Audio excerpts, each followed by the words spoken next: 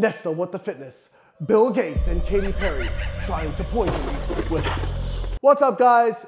It's Friday, and so you know what time it is. It's time for What the Fitness. But first, like the video, subscribe to the channel, leave a comment for the algorithm. We have back on the show Bobby Price. I can't remember what his background was. I, I want to say he's like a a pharmacist or something like that? I, I don't know. All I know is I remember him talking some absolutely crazy shit a while back that we debunked. And uh, this is probably crazier. Katy Perry, who is a singer, and her husband, I believe. Oh, Katy Perry's a singer? I believe his name is Orlando Bloom. Bought. I believe his name is Orlando Bloom. Like you didn't watch Pirates of the Caribbean like every other person on the planet, Bobby. Okay, all right. Because if that's the case, you need to come out of your cave. Bragg's Apple Cider Vinegar Company, and they have teamed up with Bill Gates mm. and now are using his Apeel apples. Now, let me sort of educate the audience a little bit about what Apeel is. Mm. A-P-E-E-L. It uses monosaccharides and disaccharides, which are byproducts. Disaccharides? What are disaccharides, Bobby? Is the word you're searching for disaccharides? So he's saying his Apeel apples use monosaccharides and disaccharides, which are byproducts of all oil processing. Okay, so the byproducts of, you know, things like uh, soybean oil, canola oil, which are very harmful to the body. These byproducts are trans fats. This is Wait, really important. What? Hang on. You just said monosaccharides and disaccharides are byproducts of oil processing, which is trans fats. Did anybody else follow what the just happened? Because I sure as didn't.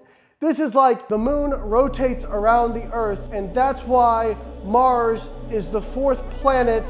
Also, Neptune has ice. What? Let's see what other gems he's going to drop on us. They're trans fats. Trans fats in most countries, all of Europe, are banned. And the reason why they're banned is because they cause coronary heart disease. What's your position as somebody who understands the land, respects the land, who's growing, showing people how to grow? What's your position? Okay, so that actually gets to the other part of that. So, first of all, holy shit, the uh, Olympic level mental gymnastics that just occurred. I, I, don't so, I'm going to Katy Perry and Orlando Bloom have teamed up with Bill Gates. Are the 5G towers? They bought Bragg's apple cider vinegar and they're using his Apeel apples, which have monosaccharides and disaccharides, I mean disaccharides, which are byproducts of oil processing. So this is an example of, I don't even know if it's lies or just, I can't even follow what the f is going on in there. Um, so the truth is, yes, trans fats cause heart disease.